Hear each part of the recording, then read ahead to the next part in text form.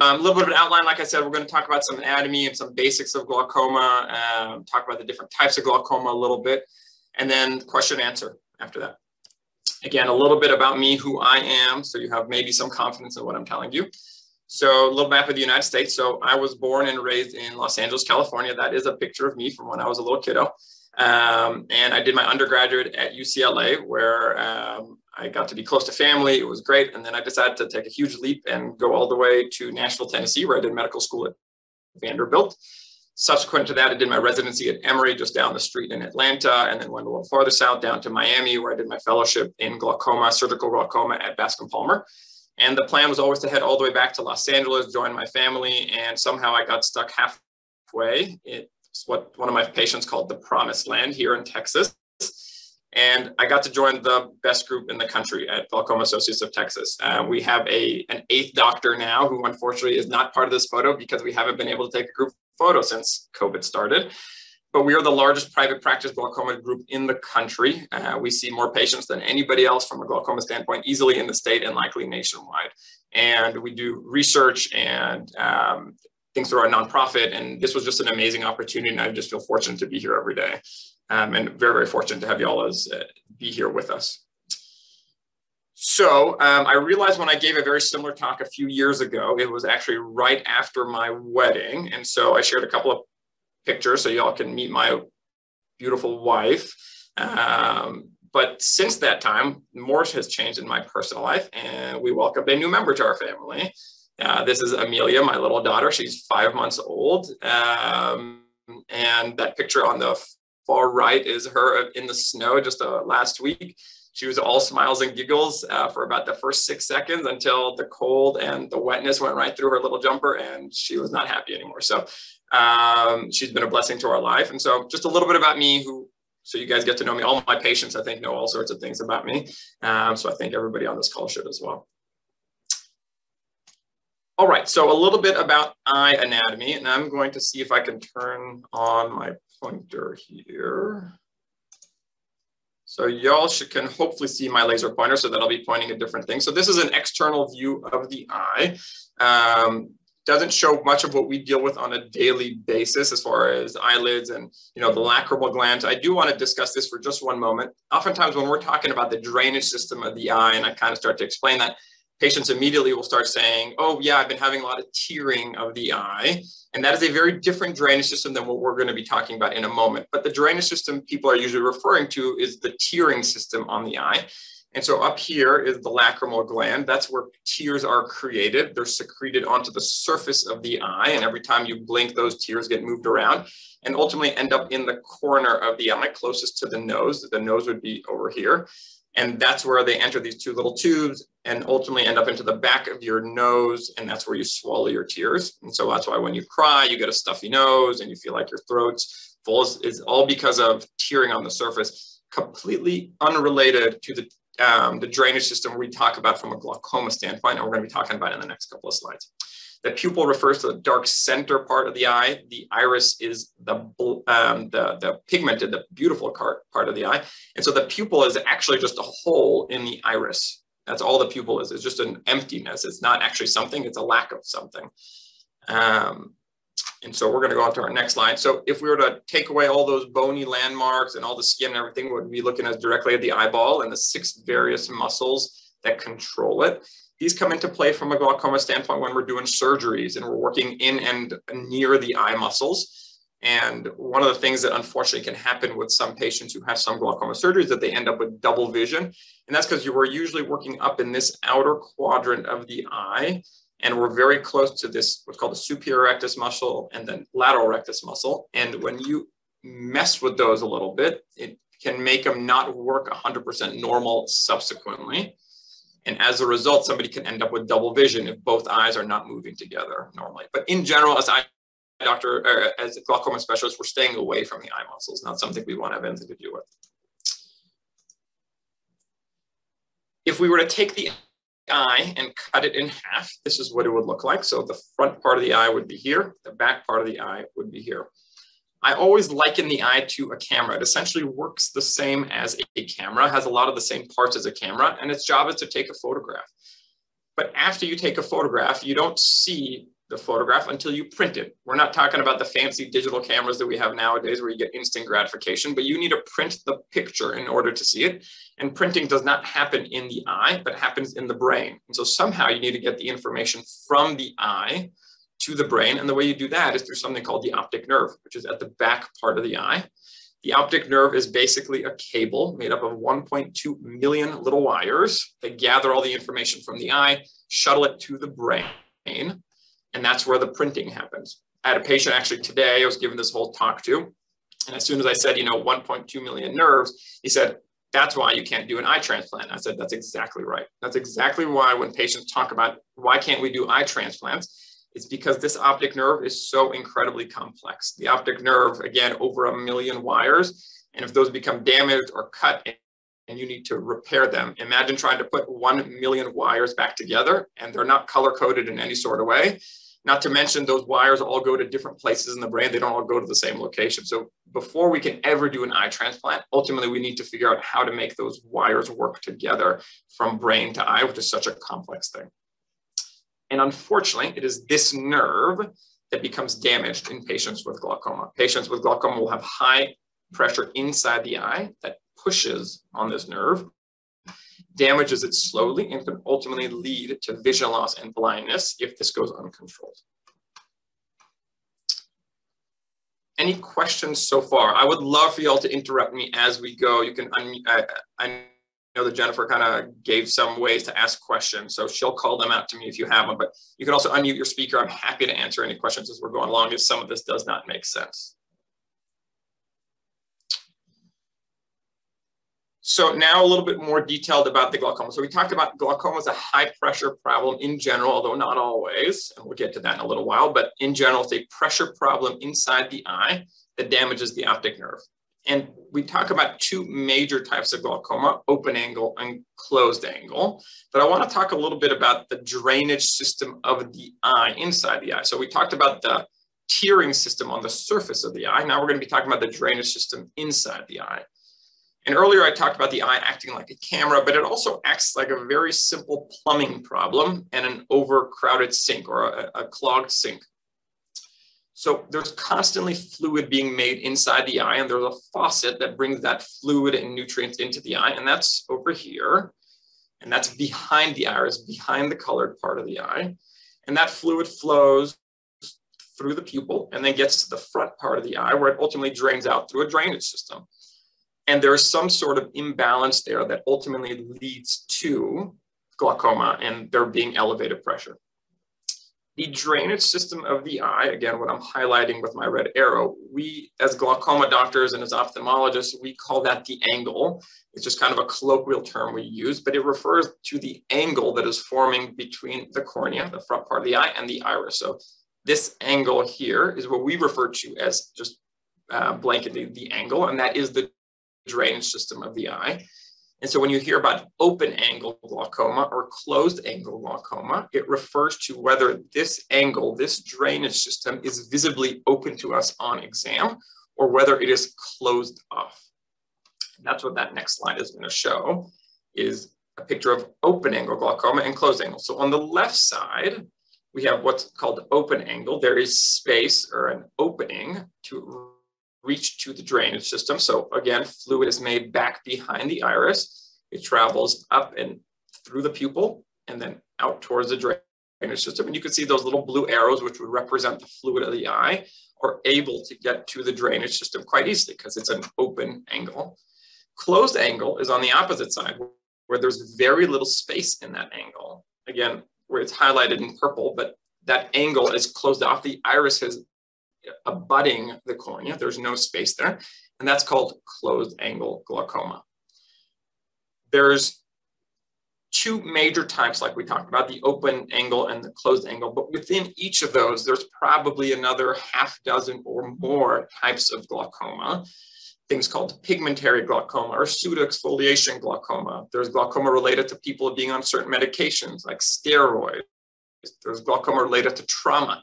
And some of those can fall into the open angle category and some can fall into the closed angle category. But in the end, it doesn't matter which one you have because the treatment is all the same.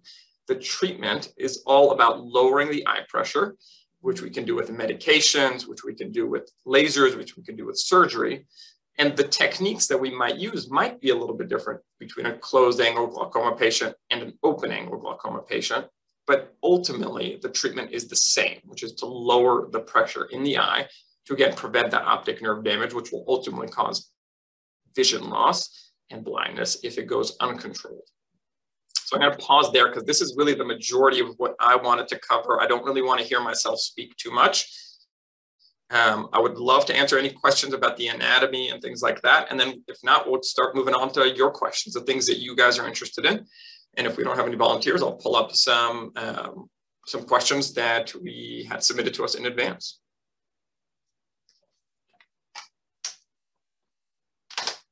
Jennifer, are they able to unmute and ask questions?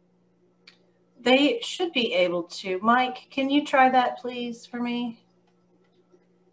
To unmute. Yeah, it works fine. It's just in the bottom left corner of the screen. Okay. Yeah, so in the bottom left corner, if you'd like to unmute and ask any questions while I pull up the list of questions that we have. Yeah, I'm unmuted. Can anybody hear me? Yes, sir. Hey, Doctor, uh, you've worked on me a couple of times, and Dr. Fellman wasn't there. This is Ed Stewart. Hey, Ed, how are you? All right, how you doing? Good, thank you. Thanks for joining. Yeah, uh, always a pleasure. Uh, so uh, I missed the first few minutes, but just wondering, yeah, any advances? I mean, this this glaucoma thing, I'm, I'm, I'm telling my kids get get checked all the time as well. But uh, so once the damage is done, is your your goose cooked? When you know, I, am worried. You know, this left eye is really challenging. yeah, that's a good question. So, unfortunately yeah, that kind of goes back to one of the things I mentioned earlier. Once damage happens from glaucoma, there's no way to reverse that damage. Glaucoma is very much of a proactive disease. You have got to stay on top of it as soon as it's diagnosed. Because again, once that damage happens to the nerve, there's no way to to regenerate it. There's a ton of research that's going on in it, some of which is funded by this organization, but all sorts of organizations around the country and around the world that are trying to figure out how can we either regenerate that optic nerve using stem cells or things of the sort. Right. How can we grow new cells? But Ed, you know, get to your question. Once that damage is done, you can't undo it because it is just such an incredibly complex mechanism to regrow the nerves, which we can't do yet. But even if we could regrow them, we got to somehow give them an address to, to go to from the eye to the brain yeah. and they need a very specific address. You can't just say, "Hey guys, go to Dallas." You got to tell them, "Hey, you need to go to 10740 North Central Expressway, Suite mm-hmm. 3." I mean, you got to give very very specific directions to each one of those little nerves that are being damaged.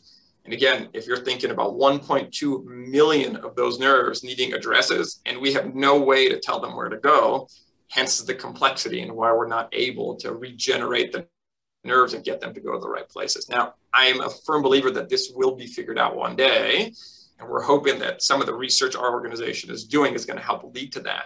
But it is certainly not in prime time. There's nothing even remotely close in 2020, 2021 that replaces regular eye exam, medications, mm-hmm. surgeries that we're doing that are acting on the preventative side. Because unfortunately, again, we don't have anything on the back end anything even abroad? I mean, um, you know, I know you got to wait for FDA approval and all that good stuff. I mean, Europe doing anything? I mean, for example, cross-linking wasn't being used for cornea. They were using Intacs for a long time, and then right. that got moved. Uh, so, you know, do I need to fly to Siberia, wherever? experiments. so I'm glad you asked that question because it's a really important one. So we are, again, involved in some clinical trials. We were involved in one um, over the last 24 months or so. That trial has ended. It was us partnering with Stanford as far as um, looking at some growth factors to try to help strengthen the optic nerve. Mm-hmm. Actually, some very reassuring information that came out of that. There's nothing prime time about that. We're hoping that there's going to be a second stage and third stage to that study. There's nothing anywhere in the world that is being done that I know of that it is worth either paying money for or being involved clinical trials absolutely but that you shouldn't be mm-hmm. paying for anything these things and the reason it's such an important question is because there are numerous centers most of which are outside the united states although there are some shady places in the united states as well most of them are located in China, in Russia, in Brazil, some of the Eastern European countries that are reporting that, oh, if you come to me, we're going to inject stem cells into your spinal canal, we'll inject them into your eye. By the way, it costs about $80,000 or hmm. $50,000. Um, and it's going to bring back your vision. We've had people do stuff like that. I had a patient um, who I haven't seen in quite some time. Was actually a patient of one of my partners who had gone down to Mexico and was trying to do some of these things. There's always going to be somebody trying to take advantage of somebody who's in. Yeah. And so that's the unfortunate situation, but the reality right now. So I tell my patients if it's not being done by a major um, clinic or a major academic institution in the United States, it is probably not a good idea. Now, the FDA is a little bit slower and more cautious in the United States compared to some of its counterparts in Europe, in Australia, and other places around the world. But I'm okay with that little bit of uh, pause before we mm-hmm. start doing something invasive to somebody and one of the final you mentioned, you know, so you just got to really monitor this. So me coming in and seeing you guys every three months, that's really what you got to do. I mean, last check, so last month I went to Dr. Sully for something with the retina, and you know, so my pressure is 10 and 10. I don't want to wake up one morning and it's, uh, you know, 39. And it, I mean, that won't happen overnight. Well, as long as I'm doing my drops and all that stuff. In general, the, the generic answer, Ed, is no, that doesn't happen for most people. Can it happen?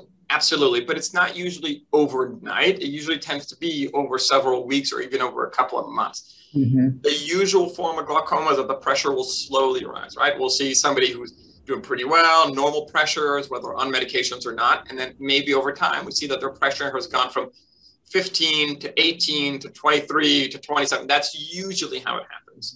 Okay. That being said, that is not always the case. There are people and, and, I have a handful of these patients in my clinic, and all doctors do that. They almost haunt you in a way because they were stable for so, so, so, so long. And then they show up one day, and like you said, their pressure went from being 15 to 45.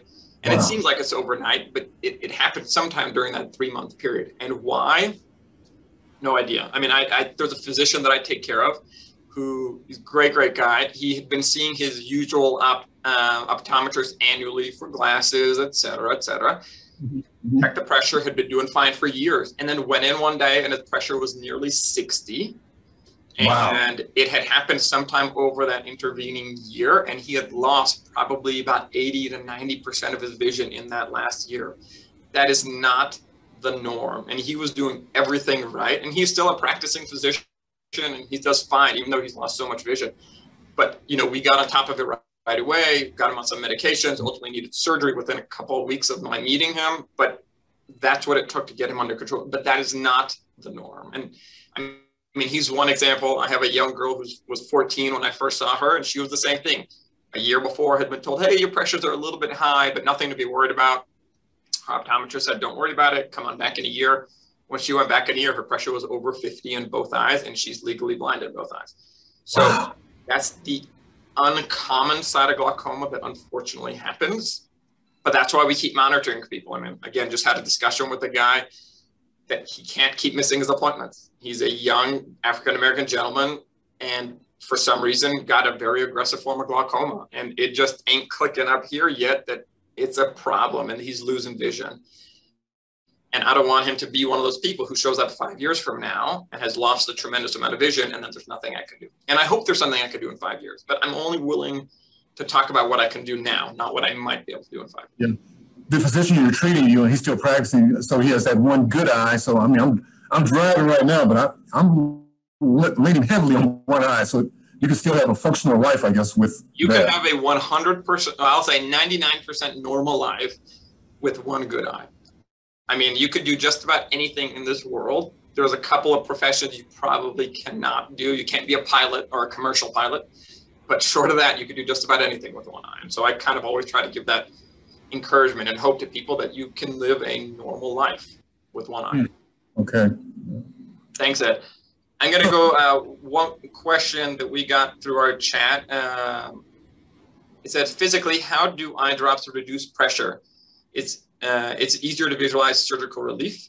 And Steve asked that question. So that's a great question. There's several ways that eye drops can help lower pressure. So I'm going to go back if uh, I think my my screen is still shared, correct?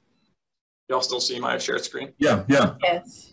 So I'm going to keep it on this um, on this sheet right here. The majority of medications that we have had for going on 30, 40 years have worked on, on the faucet part of glaucoma. That's again the area of the eye that is creating fluid and pumping it into the eye as well as nutrients. And so most of the eye drops that we've had up until this point, Steve, have essentially tried to shut off that faucet to turn it down so not as much fluid is getting into the eye. So again, looking at the eye like a sink, if you have an overflowing sink, you can either turn down the faucet and hopefully it won't overflow as much and that'll give the drain a, trans, a chance to work. And again, that's what most of our medications have done for quite some time. About um, 20 years ago, 24 years ago, to be 25 years ago, I guess, actually, to be exact, the first medication came out that worked somewhat on the the drainage system of the eye. There's kind of two drain, I don't want to get into the details, but there's two kind of drainage systems of the eye. There's a major one and a minor one. And this one worked on the minor one, but was very, very, very effective to get the drainage system of the eye to work better. About three years ago, we had our first new medication in glaucoma in over 20 years. And that one specifically targeted the major drainage system of the eye. And so, um, Steve, to your question, it's absolutely understandable why surgery seems like a much easier thing to understand. Fluids building up in the eye, we create a way for fluid to get out of the eye. But the medications are doing very similar things, but on a microscopic level. They're either turning down the faucet in the eye, and like I said, that's what the majority of our medications do, or they're working on the drainage system of the eye, opening it up, you can think of. I describe it to patients as like roto-rootering the drain. That's what we do surgically, but that's basically what these medications are. They're kind of like liquid plumber or Drano for the eye. They're opening up that drainage system so more fluid can get out of the eye. I'm gonna unshare my screen so you guys can look at me in case I'm doing some sort of, all right, I think y'all can see me again, hopefully. Any other questions or from our live studio audience. Looks like Dixon has a question. There, I needed to unmute. There you go. Um, when I was, shortly after I was first diagnosed, I had a iridotomy. I believe I'm saying that right. Mm-hmm. And that supposedly would prevent, you know, well, you can tell me, because my question really is, do you use that very often. Uh, I've tried to get into a couple of studies that were being done on glaucoma and rejected because I've had this iridotomy. Is that the plumber rotor rooter you're talking about? Not quite, but let me explain what an iridotomy is. So if it's okay, I'm going to reshare my screen again. So I had a good question. Um, uh, the Iridotomy is to deal with patients with closed angle glaucoma or a narrow angle glaucoma. Narrow angle and closed angle, those terms are used a little bit interchangeably. They're technically different things, but for the most part, they're from, for our discussion, they'll be the same.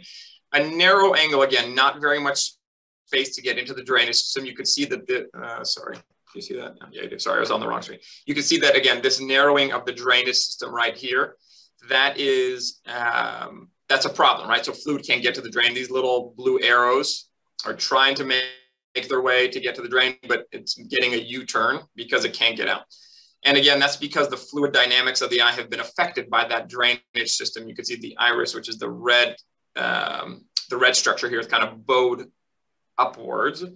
And so what an iridotomy does, the term iridotomy means a hole in the iris. That's literally what we're doing. We're creating a very small hole in the iris, usually out in the peripheral part of the iris, so that the little blue arrows can sneak their way and they don't have to make this long path like they're making on this side going all the way through the pupil. What they'll do is to take a shortcut and go through the iris and straight to the drainage system. We're kind of giving them a shortcut to get to the drainage system.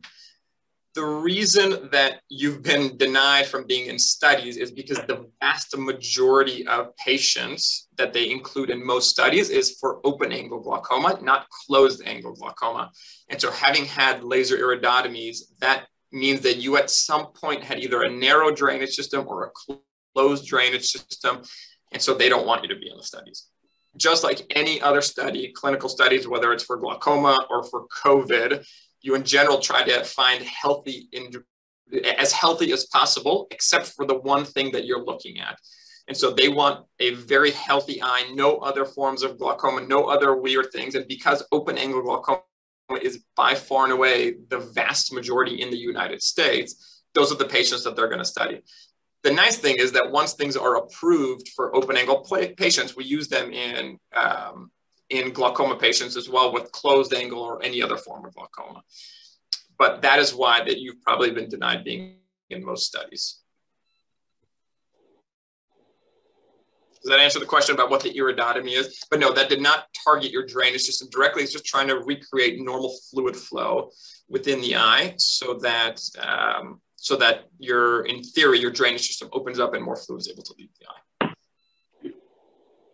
Uh, yes, and Teen Israelite, yes, you are right. I know for some reason, I guess your micro microphone's not working, but yes, you're exactly right. Drops better enable drainage. Some of them enable better drainage, and some of them enable uh, decreased fluid inflow into the eye. And those are kind of the two major ways that the glaucoma medications are working. Any other live questions? These are great. These are really great questions. Audrey has a question. Audrey, where are you at, girl? I, I just saw you. I'm right up here in the top, Doc. I just left your office, right? Yeah, I know, just a few minutes ago. yeah, I'm still, uh, my eyes are still a little dilated. yes, they will be for another few hours. You know, my question is I've been with you for now about five years. And uh, one of the questions that, you know, is posed to me a lot is how, how does your blood pressure play into your eye pressure? Love it. Good question, because this is a very common misconception about glaucoma is that patients will show up, they have high eye pressure, they say, but doc, my blood pressure is great. Why is this affecting that in any way? And it's because the two have nothing to do with each other in any sort of reliable way. Eye pressure is eye pressure, uh, blood pressure is blood pressure. Now, high blood pressure can significantly affect the eye. Saw a lady yesterday who has dramatic vision loss from high blood pressure related eye problems, but completely unrelated to her glaucoma. In fact, she doesn't have glaucoma. They sent her to me because they thought she did, but her eye problems are a result of her high blood pressure affecting her retina. So the back part of the eye, let me see if I can, again, share my screen one more time.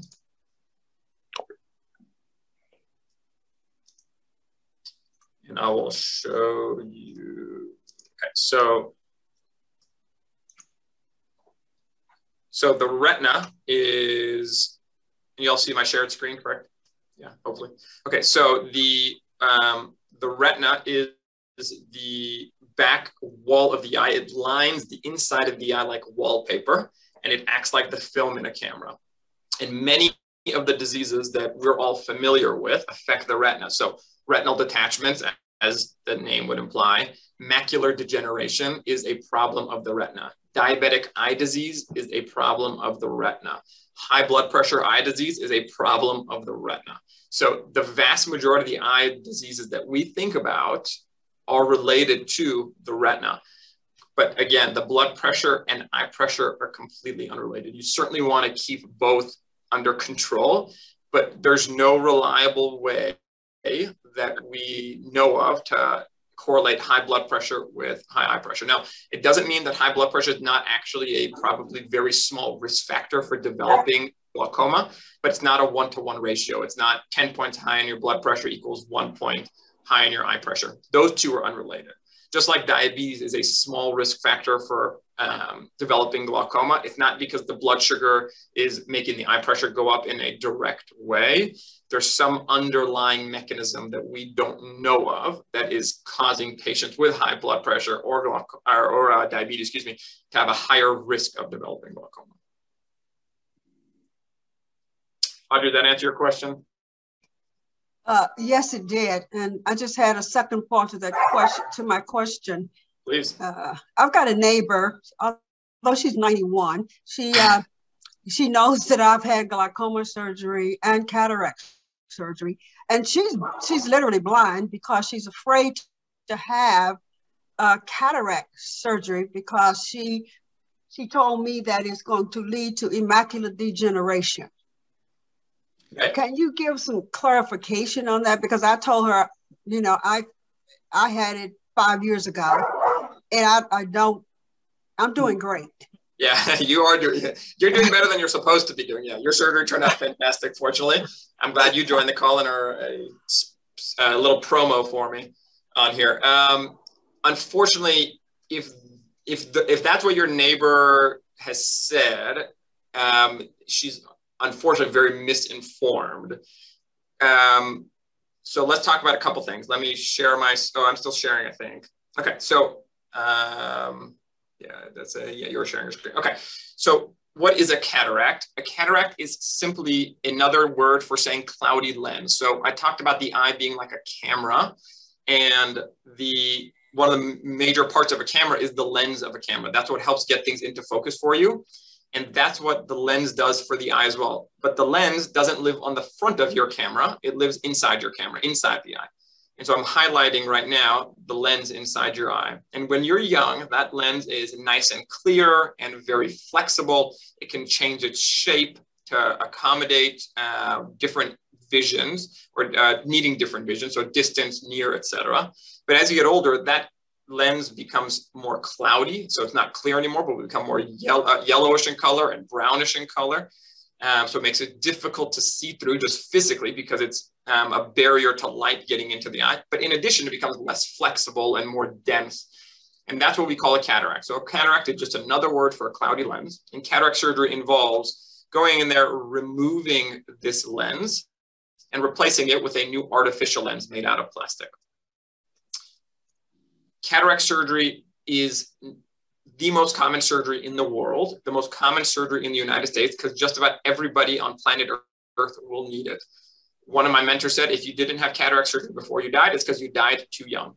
That's really what it is.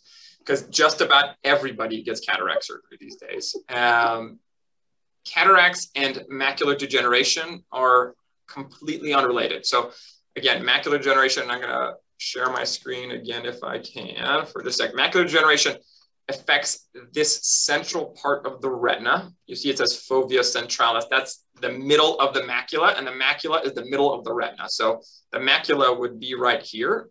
And that's, again, the central part of the retina and it is that that degenerates. It starts to, oh, are you guys seeing me? Sorry, I, thought I was sharing. I wasn't. Okay, sorry, one more time. This is the fovea right here, the central part of the macula. The macula, again, is a, a just a part of the retina. The middlemost, most important part of the retina is called the macula.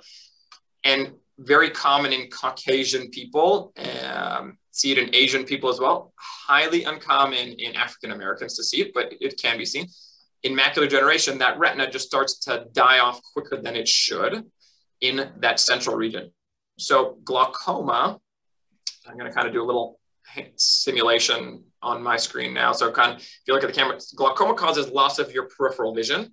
People talk about having tunnel vision. So they've lost everything in the periphery, but in the middle, they can see perfect. And so glaucoma patient can have 20/20 vision, but have lost 90% of their vision. Macular degeneration is almost the complete opposite. It affects your central vision first and foremost. So they will have a blind spot in the middle or start to lose vision in the middle, whereas the periphery will be completely fine. Mm-hmm. Totally unrelated to glaucoma, totally unrelated to cataracts. The only, and I'm not a retina specialist, so take what I'm saying with a grain of salt, although I think I know what I'm talking about. The only correlation between cataracts and the macular degeneration is going to be that after cataract surgery, you're able to get more light into the eye. And there is some belief that that extra light and UV light that's getting into the eye can cause some of the damage from macular degeneration. However, especially for your neighbor who's 90 plus, holy moly, they just need to have some. I mean, if truly their vision is from their cataract and that's how blind they are, those are my favorite cases to do because those are the ones that you can make a world of difference for people. You can truly give back somebody their life, their quality of life by removing their cataract and giving them sight again. I mean, the number one cause of preventable blindness in the world is need for glasses. And just behind that is the need for cataract surgery. And we live in a society in the United States where, again, 3 million cataract surgeries are done a year in the United States. And you should be able to get it. Now, you live in sub-Saharan Africa and don't have access to medical care. That's a reason, but it almost hurts me to hear that somebody is not getting cataract surgery and could benefit from it. Dr. Emanuel, do you see the questions over? I do. I see a whole bunch of questions just came through. This is awesome. Okay. Uh, so let me read those. And if it's okay, I'll just kind of call out your first name at least. Um, so Sharon asked, how long will patients typically stay on the same drops? Um, that is a loaded question. So there is not a clear answer to that question. Most patients respond to most medications, but not all patients respond to all medications. So what I mean by that is that when I start a medication on a patient, they're likely to do pretty well. It's likely to reduce their pressure significantly. And if not one, then maybe two or three or four. And some of y'all may even know people that are on five medications to keep the pressure under control or have been yourselves on five medications. But just like any medication we take, whether it's an eye drop or a pill, unfortunately, the body has a the, the desire to stop making it work. It's just not as effective over time. The fancy word for that is called tachyphylaxis, which is your body getting used to a medication and it being less effective. That doesn't mean it's not effective or it stops being effective completely. It just means that it's not working quite as well. You can imagine that if your body is naive to a medication and you take something, it's taken by shock, by a storm. It doesn't know what to do with it. And so it responds very well to it. But after a while, it kind of just starts to get used to it. So, you know, if somebody's kind of sitting there poking your shoulder all the time, at first you're feeling it, you're annoyed by it, but after a while, your body just kind of gets used to it and becomes desensitized to it. I can't answer your answer your question, Jared. I can't tell you how long, but I definitely have patients who have been on a single drop for years and years and years. Definitely as long as I've been at this practice, and that's all they've ever needed to control their eye pressure. And then there's people on the other end of the spectrum that we've tried the entire gamut of medications and nothing seems to work very well on them. And oftentimes they need surgery and maybe multiple surgeries to get their pressures under control. But there isn't a one size fits all, which is what makes glaucoma not just one disease, but a multitude of diseases. Because even though two patients can have the same type of glaucoma, the way their eyes act can be 100% different. And in fact, even the same patient, one eye acts one way and one eye acts a different way. Um, I'm going to jump to Anne Marie. It says, does lifestyle, exercise, diet, etc., actually lower eye pressure, or is that a just quote best practices? I've always loved this question because, um, you know, I think oftentimes we always want to know what is it that I can do? What can I do to make this better? What can I do in my day to day life to make my glaucoma go away? And the general answer for you, uh, Anne Marie, is that there isn't any dietary or lifestyle changes that we know of that directly impact your eye pressure. There are some studies that say yes, and there are some studies that say no. And when that's the case, you got to kind of just assume it's a bit of a wash. I, in general, tell people that whatever is good for the body is good for the eyes. So take care of your body, eat well, exercise, do all the things that you need to do to take care of your body, and it's good for the eyes as well the only things that have proven efficacy, as far as we know, are the medical therapies that we're offering, um, which are, for the most part, eye drops and pills to some degree, but the vast majority of which are eye drops. The follow up question to this is actually two follow up questions that I oftentimes get asked. Number one, you know, what about doing yoga? And what about when I want to do Pilates and I'm going to be in a downward dog position or my head is going to be down? I was reading up a little bit about this before I jumped on this call because I had a feeling this would be a topic of conversation. And yes, we know that some of those positions can probably increase your eye pressure. So being in a head down position for a prolonged period of time can be. But I still don't recommend not doing those things. I think that it is so important to be physically active. And so if the thing that you enjoy doing is yoga then do it because I don't think that those, you know, two or three minutes several times a week that you're going to be in a, uh, a head down position are going to affect your glaucoma. I think that your overall health is far more important than just your glaucoma, right? We got to treat the whole patient and overall health is again top of the list. Eyes I think are pretty important, but what's the point of keeping your eyes perfect and keeping your pressure perfect if you end up dying from a heart attack because you're so scared to be physically active? So be physically active, do all the things you enjoy doing. Um, from an eating standpoint, the only thing I always recommend, if you know, the only thing that we know that can affect eye pressure pretty significantly are steroids. So oral steroids, topical creams, nasal sprays, injections. So always talk to your glaucoma doctor about those things if you're going to be doing them. Um, and then antihistamines to some degree. That's a little bit kind of a, of a dicier subject, kind of depends on the type of glaucoma. But those are the two things from a medical standpoint that you could be taking unknowingly that might be affecting your eye pressure. All right. Um, oh, one other thing. So the second point that I want to bring up, um, because most of y'all are very polite and probably won't ask this question, is what about marijuana? Where does that fit into my regimen? I know all you guys are waiting to light up a joint right after this call to help your glaucoma. You know, well, not anymore. it, oh no, Ed is starting to chime in. I know Ed's already lighting up right now, probably. What's going on there, Ed? No, no, no. Go ahead. so marijuana and actually THC, one of the uh, ingredients within marijuana, has been shown to lower eye pressure. That is true. However, the amount that you need to smoke or eat or consume in one form or another, one form or another, to reduce your eye pressure is exorbitant. And you basically need to be because the THC is a very short-lived molecule in general, it lasts just a couple of hours. So unless you're going to be smoking or eating or inhaling in some form or another every two, three, four hours to lower the eye pressure, it's not a good idea. Now, the American Glaucoma Society and the American Academy of Ophthalmology recognizes that marijuana has probably at some point a role in the treatment of glaucoma, but it is not there yet. And so the amount that you need to be consuming will be far more detrimental to your overall health than the benefits you'd be gaining from a glaucoma standpoint. So the recommendations are at this point, don't do it for your glaucoma, don't do it for, uh, for lowering the eye pressure because uh, that's what your friend told you is good. So you should start doing the weed. If you want to do it, I'm not judging. That is a decision that you can make personally, but please don't do it from a glaucoma standpoint. Um, Okay, lots of good questions coming through. All right. Um, Sharon, I, another really great question. It's completely unrelated to glaucoma, but it, she asked, is there anything one can do to keep from getting floaters? The only thing you can do is to not live um, because floaters come with age. It's like gray hairs and wrinkles, cataracts and floaters. Those are all some guarantees on life. And floaters are as a result of some breaking down of gel in the back half of the eye. Again, unrelated to glaucoma, they're usually pretty annoying. Most people, they get used to them, their brain learns to ignore it. You don't need to worry about it too much.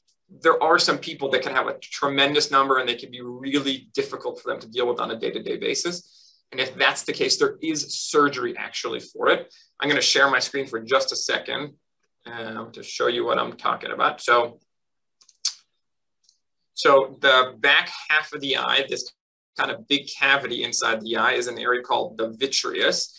And again, as that it is filled with a gel, and as that gel breaks down, that's what you're seeing. You're seeing little pieces of and little shadows being cast by it. So if it is to the point that it's bothering somebody, the solution is uh, something called a vitrectomy, again, done by a retina surgeon because it's basically attached to the retina. They go in there and suck out that gel, and that clear, clears out the floaters most people don't necessarily recommend it unless it's really bothersome because the risks of surgery may not be um, may not warrant it. And so again, it's a personal decision and one to have with your retina specialist.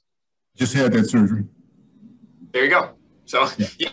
I mean, it's a very common surgery. It's the most common surgery the retina specialists do. I definitely do not do vitrectomies. It's outside my area of expertise but people do it for floaters. Um, you know, 10 years ago, it would be considered malpractice to do that for floaters. But the techniques have gotten so much better. So much less invasive, fortunately, now that it's not uncommon for people to have it for floaters. But it doesn't make sense to do it if you're not really bothered by it. It's just you're taking on the risks of surgery. And having a vitrectomy is a risk for developing glaucoma, actually. So um, a small risk, but it's nonetheless a risk. So unless it's really bothering you, it doesn't make sense to do so. Dr. Emanuel, we have uh, Jim has his hand up, so I was going to see if he wanted to yeah. his question. Go ahead, Jim. Yes, I'd uh, written my question in, but uh, and I also have one that I had uh, sent in earlier. But this one is uh, I have been on Travatan Z for uh, 10, 12 years, and it's well controlled my pressure. Uh, a visual field test about a year and a half ago indicated some deterioration so we added Timolol uh, in the morning and the evening with the um, uh, Travatan Z in the evening. Wait a minute. No, uh, we added Timolol in the morning, kept the Travatan Z in the evening. And uh, that seemed to, you know, help that. But my heartbeats per minute dropped down to the low 30s. And uh, so my um, cardiologist indicated that uh, maybe getting off the Timolol and if, you know, the heartbeats per minute would come back up. And they did. They came up to 58. But now my pressure the last two times has, after being 12 over 13, it was 15 over 15. And this last time with my ophthalmologist, it was 21 over 21, which yes, still is not bad, but it's it's coming up. And yes, I'm wondering if I should try to go back. So I'm going to try to avoid giving too much personal or individual advice on this because without having reviewed your chart, etc. But Timolol is what's called a beta blocker. Um, the, and it's one of the medications that helps decrease flow or uh, decrease fluid into the eye. But one of the side effects, as you mentioned, is that it can lower heart rate. Now, in clinical studies, for most people, it usually lowered heart rate by between one and three points, not a significant amount. But in some people, and I had a patient last uh, two weeks ago who had the same issue that her um, heart rate would drop from in the mid 60s down into the 40s. And so we had her stop it and it went back up. And then I said, hey, well, let's just try just for fun to really make sure it's this medication. Sure enough, she took the, the drop and two days later, heart rate was down in the 40s again.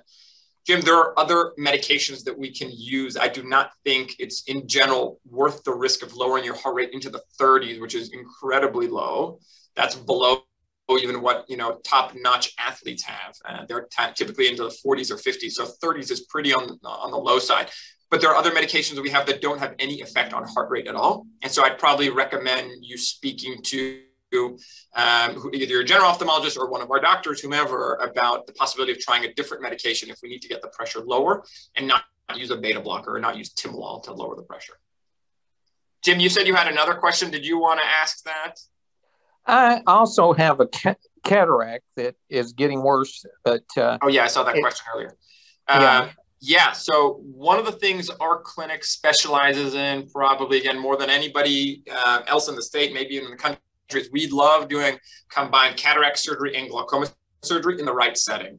Um, we absolutely can do both at the same time. There's no reason not to if there's a reason to. And what I mean is if you have a clinically significant cataract, it's affecting the quality of vision, it very much makes sense to do that at the same time. You know, why subject a patient to two surgeries if they can have one?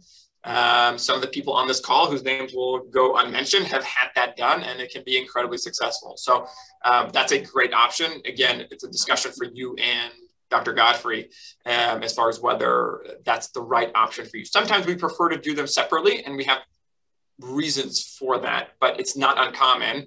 I mean, I think I have 12 cases next week, and probably half of them are going to be combined cataract surgery and a glaucoma surgery. Okay, I would. Ju- I know any surgery has risk, and I was just, you know, concerned about doing the two at the same time. My ophthalmologist, who I saw last week, says it's time, and Dr. Godfrey has somewhat indicated that. He said he'd leave it up to me, but he really thought we were approaching that time. Yeah, we don't push. Uh, Godfrey and I, especially I think even more than maybe any of our other doctors, him and I practice very, very similar. We're very similar as far as personalities. We're very similar as the way we practice medicine, uh, probably because we trained at nearly all the same places. And um, in general, I think most of the doctors in our practice don't push cataract surgery. That's something we want patients to want and need. The only time we'll push it is if we're doing glaucoma surgery at the same time. And so um, it sounds like, Jim, you're on your way towards some surgery a little bit later this year, which is good news for you. Hopefully you'll have, notice some pretty good improvement with that. All right. Um, is there anything? Okay, I'm going to get to a couple more of these questions that are coming through live. Um, Tina, you're asking a question that I might ask you to clarify. Um, it's saying, you know, not expecting it to identify a cure for glaucoma today. Yes, unfortunately not, although it put me out of business, but I'd be okay with that. Uh, but it says, could muscles have a role in eye pressure? And I don't quite know what you mean by that. I don't know if you're referring to the eye muscles having a role in eye pressure. Um, so if Tina, you're on the call. You could close that unless you want to read the QR. If not, I'm going to jump to the next question and wait for you to clarify maybe on another message, okay? Um, okay, has there been any association between glaucoma and hydrocephalus? Ooh, this is getting kind of detailed. So since normal pressure hydrocephalus can include increased pressure on the brain and in turn cause excessive pressure on the optic nerve resulting in glaucoma. So I'm gonna kind of, uh, this was sent in by Jack. So I'm going to um, take one step back from that and share my screen again and then give you guys a little bit more detail as far as because that's a pretty detailed question maybe outside the realm for this discussion but i will answer in a little bit more general way that i think will help explain so again if we look at our eye model the pressure inside the eye is one factor in glaucoma and, and, and when I refer to glaucoma, I mean on the health of that optic nerve as a result of that pressure. So again, pressure inside here pushing on the optic nerve. That's not the only fluid that has come in contact with the optic nerve. The other is something called cerebrospinal fluid or CSF. And that is fluid that is, lives around the brain, around the spinal cord. It's all continuous and also along the optic nerve. So between this blue and beige area, there would be some fluid, and that would be cerebrospinal fluid. And the how high the pressure is in that fluid certainly plays a role in people developing glaucoma. One of my uh, co-fellows, he was extremely interested in this and is doing a ton of research back at Bascom Palmer in Miami. I'm going to come back off of sharing. Um, and it is just such a hard thing to measure. We know people that have um, high cerebrospinal fluid. It can affect, it doesn't affect the eye pressure directly, but it affects the pressure gradient between the two. So it's kind of a push pull mechanism happening, right? You're pushing on one side from one pressure and pushing on the other from another pressure. And it's that balance that probably is affecting the optic nerve. The problem is twofold. Number one, it's not easy to measure somebody's CSF pressure, their cerebrospinal fluid pressure. It can be done. It requires a lumbar puncture, putting a needle around the spine to measure that pressure, but it's invasive. It's not easy to measure it. Um, and two, once you have that pressure, there's very little you can do to change it. And so, what we as glaucoma doctors tend to do is focus on the things that we can control. So, glaucoma is a series of risk factors, pressure being one of those risk factors.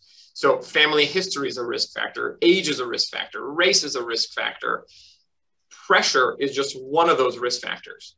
And I always tell people, I can't change how old you are. I can't change whether you're black, white, yellow, green, or whatnot. I can't change your age, but I can change your eye pressure, which is why we treat eye pressure. We can't change your genetics, and we uh, just as much can't change your CSF pressure. So we try not to focus on that too much. Now, that being said, for patients with what's called normal pressure glaucoma, we will run some additional tests at times. But again, we unfortunately can't um, change the CSF pressure, so uh, we focus. We don't focus on it very much. But great question. Um, yes, Jennifer. The answer to your question is yes. Thank you. Okay. Uh, I'm gonna scroll back. I'm gonna try to get, we have a bunch of questions, so I'm gonna try to knock them out pretty quickly so that everybody gets a chance. Uh, sweet old Myra. I don't know of any relative that has high pressure, glaucoma on either side. Same issue with my husband. What's up with that? Are our three sons in trouble in the future? What is up with that indeed? Because for you and your husband to have no family history and to have found each other, both of whom have glaucoma, you are, you know, two peas in a pod. I mean, having a family history increases your risk of developing glaucoma, but the majority of patients with glaucoma do not have a family history, if that makes sense. So um, there are people where it runs in their family. They're like, you know, my five uncles, my three aunts, my dad, my four sisters, they all have glaucoma. God, their risk of developing glaucoma is dramatically higher. But somebody who says, you know, my long lost great aunt on my father's side, twice removed, had glaucoma, that's not a risk factor.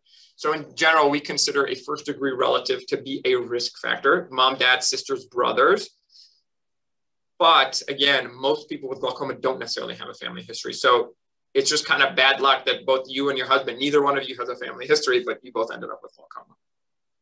Your sons are at risk of developing glaucoma. They have a higher risk because if there is a genetic component, and we don't know if there is in your case, they have the possibility of receiving those same genes. And so I would definitely recommend that they get checked probably sooner than most and just keep their annual exams. Um, I assume your kids are probably in their 20s or 30s or 40s. And so it would make sense for them to just have their routine eye exams and just keep an eye on this. And their eye doctor, their provider should be aware um, that they have a family history, and because again, it increases their risk. Okay. I think Ed wrote a question, will glaucoma produce cloudiness? Um, in general, we talk about glaucoma taking away the quantity of vision, not the quality of vision. So it'll take away Let's, for example, again, your peripheral vision, but you might be able to see 20/20. It's a little bit of a misrepresentation because, yeah, people with glaucoma will say, hey, it's just not, if they have a, let's say one glaucoma is worse than the other, they'll say, hey, this eye with the worst glaucoma is just not quite as good. I know I can see 20/20 on the eye chart, but the quality is just not quite as good. And if that's what you mean by cloudiness, then yes, it can absolutely affect that. And of course, at the more severe ends of the spectrum, as that visual field, if it closes off, it can cause severe cloudiness and, and blindness. Uh, one person asked, you know, what's the, basically what's the best way to do my eye drops? Am I doing them correctly? I have no idea if you're doing them correctly because I haven't ever seen you do them. But I think that the easiest way to do it is actually uh, pulling the, tilting the head back, pulling the lower eyelid down and dropping it just inside the lower eyelid. When you close the eye gently and don't squeeze, but when you close the eye gently, the medication gets all over the eye and absorbed into the eye. Oftentimes, doctors recommend close your eye for a minute or two afterward. That helps promote medication going into the eye. Uh. Margaret asked about what is being done to cure glaucoma. Uh, what, besides the fact that that's the name of our organization, what type of procedure will this be? What are they working on? Uh, Etc. I'm going to tell you the the, the short answer is that there is no cure for glaucoma currently. And what form that'll take, I have no idea. I think it's going to be some sort of stem cell like thing, although stem cells themselves are, seem to be really, really tricky. Um, I'm going to put a little plug in for cure glaucoma right now. But in order for us to be able to cure it, we need funding. We need money to be able to do the things that we enjoy doing, the research we enjoy doing. Um, and we are involved in a whole bunch of studies and uh, on a clinical side as part of our practice, but also our nonprofit Cure Glaucoma is funding, you know, tens of thousands and close to hundreds of thousands of dollars a year in research. But none of that happens without your dollars. I feel like I'm on a telephone right now, but we need your money. Uh, we do, we try to do educational things, but really it's the money that we can use to fund research that we think is worthwhile. Um, and us doctors that are part of GAT are doing all that for free. We don't get paid from Cure Glaucoma to do what we do, but we need that so that we can process samples, so that we can hire researchers. We're hoping that one day we'll have our own PhD working for us full time. And with your dollars, you can make that happen. And any donation is always helpful. So, Margaret, I expect a big fat check from you soon. Uh, and then last question it says, I have borderline glaucoma. I use latanoprost at night.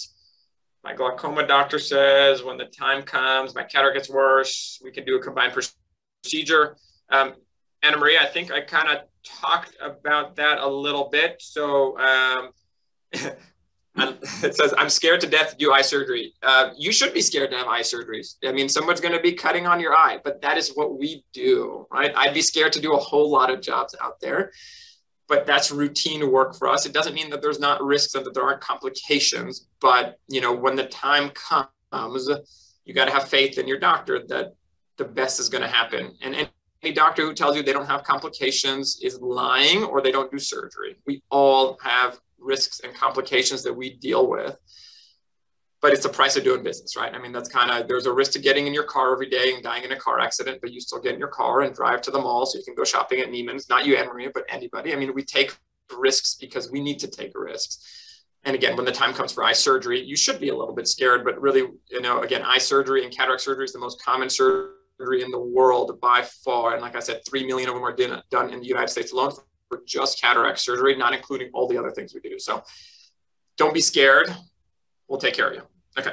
All right, let's answer a few. I think that was all that was submitted previously. Dixon, I'm going to touch on your question real quick about beta blockers again. So if you're already on a systemic beta blocker, studies suggest that the topical beta blockers, the ones again that can potentially lower your heart rate, are not as effective, but it's not that they're not effective at all. So a lot of doctors will still try it. I'll see if it works. If it works, great, because it's such a localized area, we might think that getting a higher concentration might be helpful. Um, but oftentimes, if people are already on a systemic beta blocker, it's not as effective. Um, Jim, we already answered this question about the Travatan Z. So Audrey is asking about the effects of COVID on uh, glaucoma and the eye in general. And, you know, one of the treatments for COVID right now for those that are in the ICU is to be in a prone position, basically on their stomachs for a large percentage of the day, helps with respiration and things like that, and how that's going to affect a glaucoma, eye pressure, the eyes.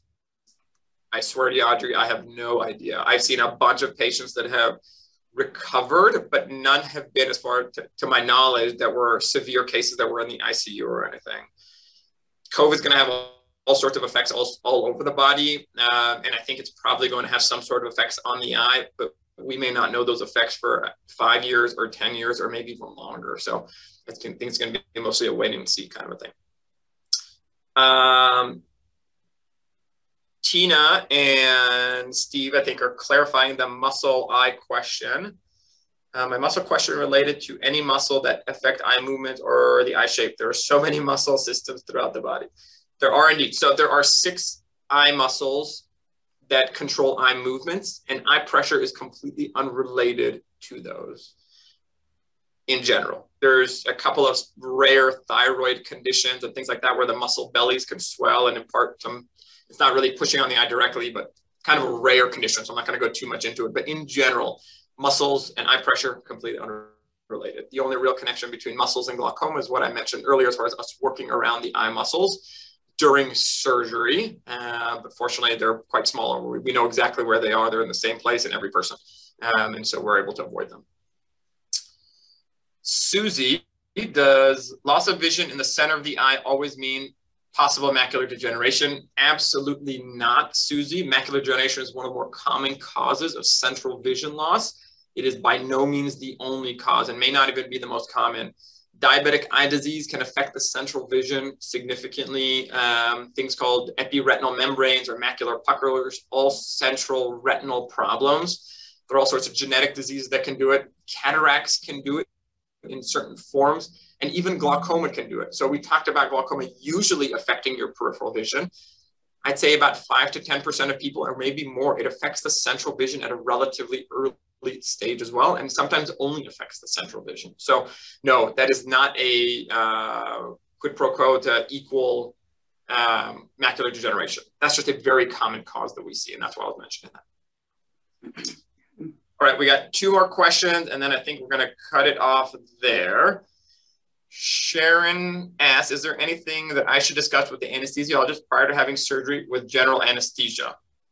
Um, I'm a little confused. I don't know if you mean from a glaucoma standpoint. So if you're having general anesthesia and you're worried about the effects of it on glaucoma, I wouldn't be. The general anesthetic is usually relatively short term and no real effects on eye pressure that we need to worry about. There are effects. And so if we're ever doing surgery, uh, general anesthesia, or for babies when we need to take them to the operating room to check eye pressures because we can't do it in clinic, we actually, right before they have their general sedation, we will check their pressures because we know that uh, IV anesthesia and some of the inhalational uh, anesthesia can affect eye pressure. Oh, not glaucoma surgery. Yes. So uh, thank you. Should clarify. So yes, for general surgeries and whatnot, no, I wouldn't worry too much about it. They don't need to know anything. And last but not least, Ed is asking, do contacts produce eye pressure? And I think by that you mean uh, kind of contact lenses that you're using for vision rehab or to see better. Yes, no, lenses, yeah. So scleral lenses, okay, even better. So uh, scleral lenses are a type of contact lens um, that most people are not familiar with, but in general, contact lenses, whether they're scleral lenses or typical contact lenses, soft contact lenses, don't really affect the eye pressure in any sort of way, except that when they're in there, if somebody tries to check your pressure over it, yes, it can affect your pressure. But that's kind of an artificially, it's checking your pressure. You guys have been awesome and asking so many questions, and that's really what makes um, this possible. So thank you, thank you, thank you all for joining. We appreciate it.